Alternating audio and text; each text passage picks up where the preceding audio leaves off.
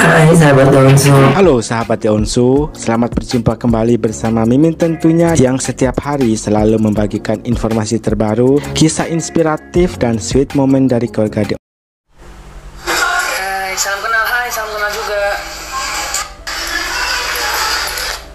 Halo guys, aku lagi di tempat cemilan-cemilan gitu loh. Jadi aku sekarang lagi mau beli cemilan dulu karena di mobil aku tadi nggak makan cemilan kan. Kita lagi mau beli cemilan. Ke mana pun dia pergi ya, cemilan tetap nomor satu. Ya lagi apa nih? Halo, halo, hai. Angkat, ini sekarang kita lagi ke mana? Belum dong kan? Maksudnya di tempat ini, ini tempat cemilan kan? Beruntungnya ada Uncle Joe ya, yang sudah paham soal Korea Selatan. Nah, di momen ini bundanya tuh lagi nyalon, guys. Tahu nggak guys, aku tuh sekarang lagi malu karena apa? Lihat, nunggu kumis. Si Onyo malu katanya, soalnya nemu kumis. Dewasa berarti. Betul sekali, Onyo tandanya sudah dewasa.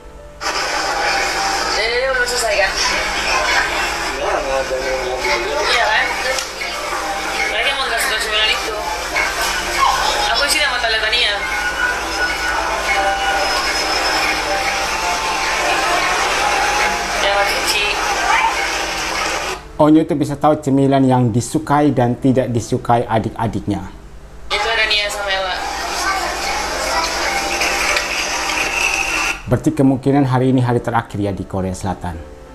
Ini aku mau pergi eh, ke tempat yang kemarin. Aku kan kemarin ke tempat yang beli jagung itu kan, yang makan jagung yang beli-beli cemilan-cemilan gitu tuh, makanan-makanan gitu yang di pinggir jalan. Ini aku sekarang mau pergi beli jagungnya, karena jagungnya enak banget guys. Si anak bujang ketagihan makan jagung bakar ya. Jangan segini berapa? Sini. Belum belum pada jualan masih kayak gini. Biasanya jam berapa ramai kau?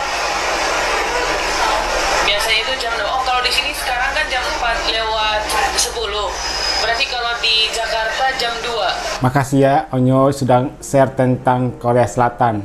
Ini aku mau jalan-jalan ke sini guys Ih, Jarlat Woi Jar kalau kalau ngechat jangan ngechat di WA bro Ada si Jarlat ya ikutan nimbrung nonton live-nya Onyo. Ya, eh, aku gak suka timun, aku sukanya jagung Mana Jarlat? si anak bujang nggak suka timun katanya, tapi suka jagung.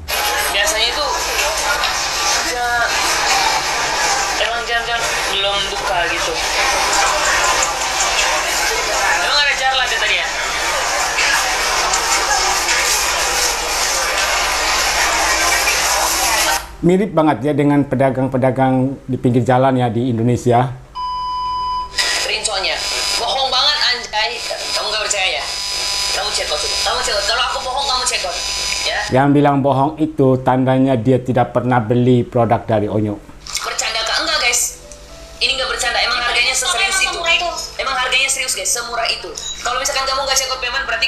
Bisa memanfaatkan waktu ini dengan benar-benar guys Onyo itu tidak akan mempertaruhkan gitu ya pamornya dengan berbohong. Kok tiba-tiba jualan sembako karena aku pengen belajar dari hal kecil ini siapa tahu nanti bisa belajar yang gedenya guys jadi hal yang besarnya Pada intinya Onyo tuh selalu satu langkah lebih maju daripada haters.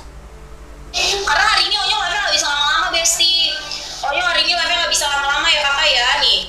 Hostnya sudah paham kalau pakai nama Onyo dipastikan ramai pembeli. aku kasih kamu waktunya Ayo udah kasih. oh dua menit aja dua menit Udah menit. dua menit aja dua menit Kamu lama-lama ya. Gak usah lama-lama dua menit aja soalnya aku mau pindah ke event yang lainnya Waktunya dikurangin tujuannya biar penonton itu buru-buru beli gitu ya, buru-buru COP. eh eh kalau misalkan dapat dua puluh ribu jangan beli beli banyak cepetan nggak beli banyak Wah, ada beli Pringles satu dus. eh mantap kalau dia CO Wah kaya-kaya banget ini yang nonton live Onyo ya. Wah keren-keren banget. mantap Penggemar-penggemar terbaik yang selalu support Onyo dalam keadaan apa pun. Yang pertama, terima kasih buat Onyo. Walaupun kita tidak ikut liburan di Korea Selatan, tapi kita bisa mengikuti liburan dari Onyo secara virtual. Senang banget kan kalian jak liburan karena di hari pertama Onyo berada di Korea Selatan, Onyo selalu membagikan setiap aktivitasnya kepada penggemar. Tidak ada yang ditutup-tutupi, apa adanya. Seperti itulah seorang veteran Putra Onsu.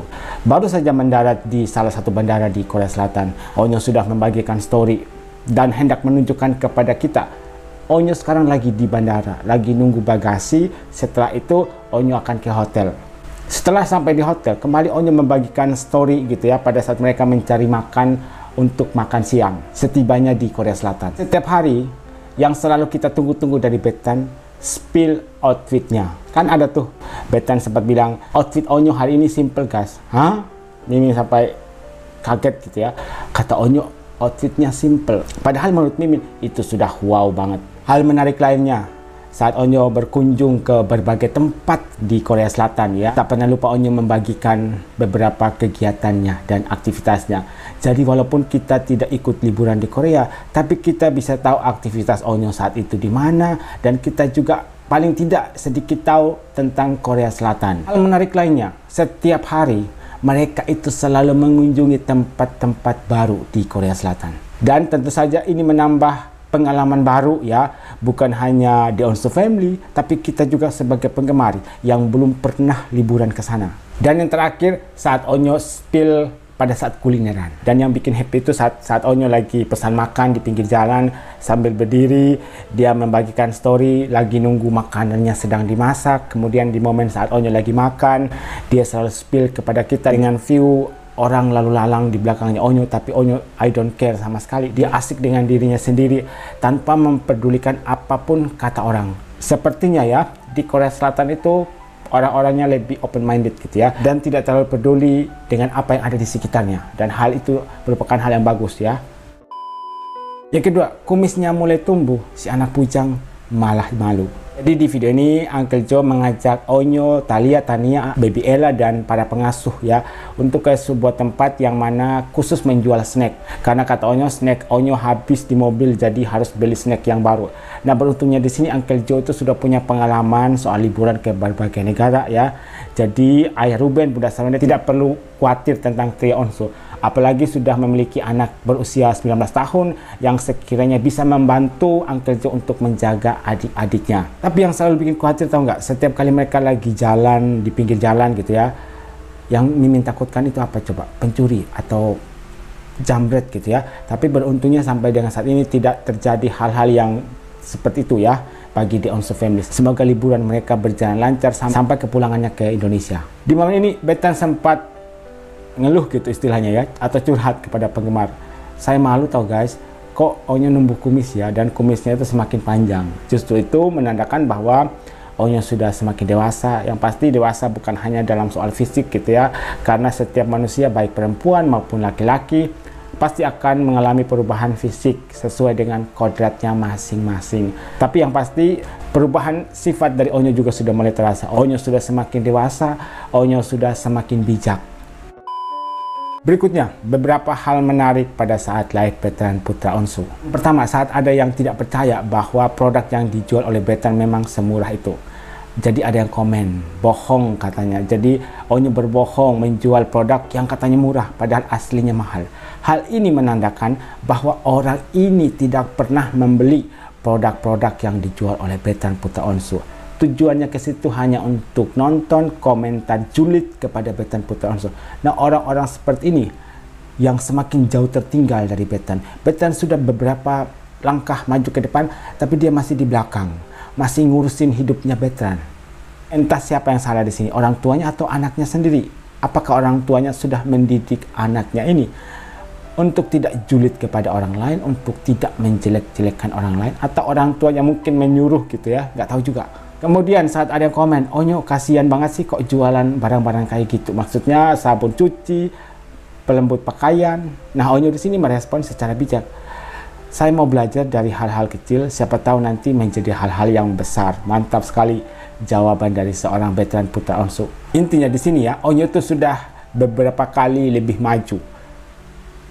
Haters masih sibuk untuk menghakimi Onyo, untuk julid sama Onyo. Tapi Onyo fokus untuk dirinya sendiri, fokus bagaimana mengembangkan skillnya, fokus bagaimana untuk mencari uang untuk masa depan yang lebih baik.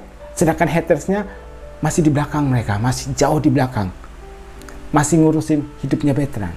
Jadi di sini terlihat jelas perbedaan kualitas dari veteran dan juga haters. Demikianlah beberapa informasi menarik, kisah inspiratif, dan sweet moment dari keluarga The Onsu. Jangan lupa untuk subscribe channel ini biar kalian tidak ketinggalan update terbaru dari keluarga The Onsu. Sampai jumpa di video berikutnya.